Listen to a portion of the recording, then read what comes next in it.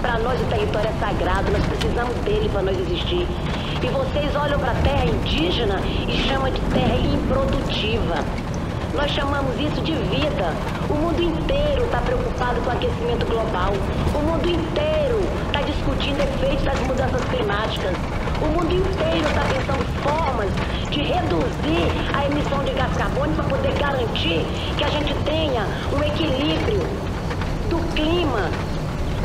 aqui no Brasil é bem mesmo a cara desse governo truculento de querer o tempo todo aqui agora autorizar é, a entrega desses territórios para exploração, porque não pensa, não pensa na vida, só pensa em dinheiro, só pensa em lucro. É uma ganância para atender o capitalismo. Nós não.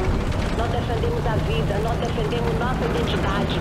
E nós vamos derramar até a última gota de sangue para defender os territórios,